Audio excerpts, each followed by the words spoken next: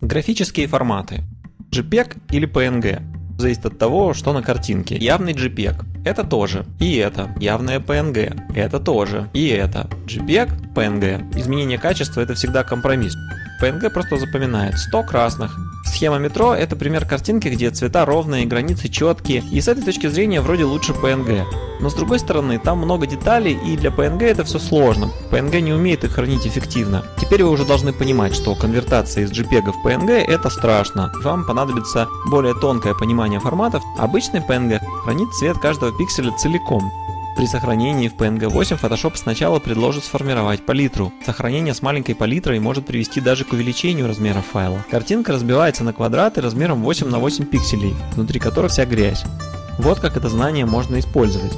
По секрету, все соцсети конвертируют GIF в видео при загрузке.